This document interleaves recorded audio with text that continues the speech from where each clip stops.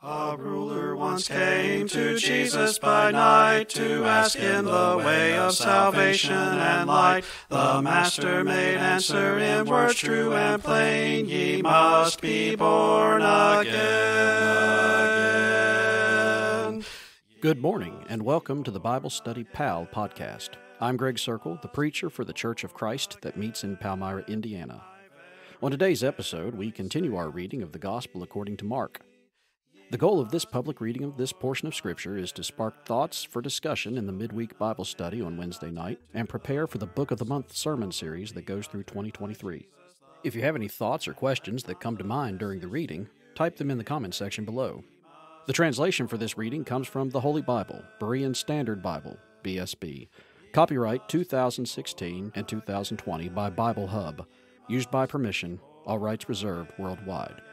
I verily, verily say unto thee, ye must be born again. Let's get into the reading. Once again, Jesus entered the synagogue, and a man with a withered hand was there. In order to accuse Jesus, they were watching to see if he would heal on the Sabbath. Then Jesus said to the man with the withered hand, Stand up among us. And he asked them, Which is lawful on the Sabbath, to do good or to do evil? To save life or to destroy it. But they were silent. Jesus looked around at them with anger and sorrow at their hardness of heart. Then he said to the man, Stretch out your hand.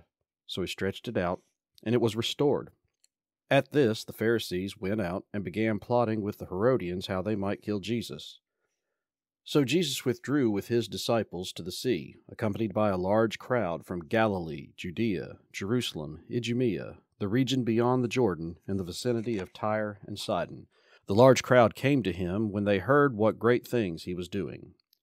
Jesus asked his disciples to have a boat ready for him, so that the crowd would not crush him, for he had healed so many that all who had diseases were pressing forward to touch him. And when the unclean spirits saw him, they fell down before him and cried out, You are the Son of God. But he warned them sternly not to make him known. Then Jesus went up on the mountain and called for those he wanted, and they came to him. He appointed twelve of them, whom he designated as apostles, to accompany him, to be sent out to preach, and to have authority to drive out demons. These are the twelve he appointed Simon, whom he named Peter, James, son of Zebedee, and his brother John, whom he named Boanerges, meaning sons of thunder, Andrew, Philip, Bartholomew, Matthew, Thomas, James, son of Alphaeus, Thaddeus, Simon the Zealot, and Judas Iscariot, who betrayed him. Then Jesus went home, and once again a crowd gathered so that he and his disciples could not even eat. When his family heard about this, they went out to take custody of him, saying, He is out of his mind. And the scribes who had come down from Jerusalem were saying, He is possessed by Beelzebul, and by the prince of demons he drives out demons. So Jesus called them together and began to speak to them in parables. How can Satan drive out Satan? If a kingdom is divided against itself, it cannot stand. If a house is divided against itself, it cannot stand. And if Satan is divided and rises against himself, he cannot stand. His end has come. Indeed, no one can enter a strong man's house to steal his possessions unless he first ties up the strong man. Then he can plunder his house. Truly, I tell you, the sons of men will be forgiven all sins and blasphemies, as many as they utter. But whoever blasphemes against the Holy Spirit will never be forgiven. He is guilty of an eternal sin. Jesus made this statement because they were saying, He has an unclean spirit. Then Jesus' mother and brothers came and stood outside. They sent someone in to summon him, and a crowd was sitting around him. Look, he was told, your mother and your brothers are outside asking for you. But Jesus replied, Who are my mother and my brothers? Looking at those seated in a circle around him, he said, Here are my mother and my brothers. For whoever does the will of God is my brother and sister and mother. Ye must be born again, again, ye must be born.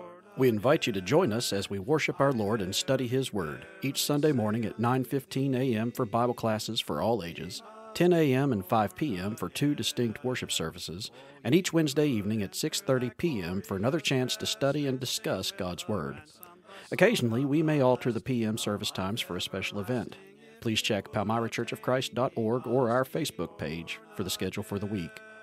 If you have any questions or would like to have a Bible study in person or by correspondence, email preacher at palmyrachurchofchrist.org or call 812 364 6215.